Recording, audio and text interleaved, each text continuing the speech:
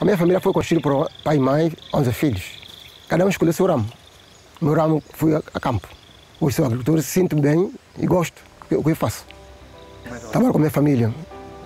A agricultura é base fundamental da família.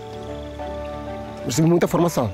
Fiz formação na estufa, fiz formação também em outras áreas. E com, através de pequenas estufas que apareceu, as coisas estão mudando, entendeu? Já abrigo, as estufas. Hoje já temos uma estrada, graças ao projeto Criasa.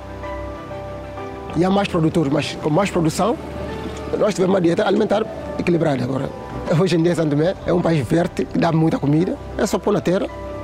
O que eu desejo diretamente para o próprio Tomé e meus filhos, né? que possa haver mais formação, possa haver mais sementes e nós podemos trabalhar com êxito.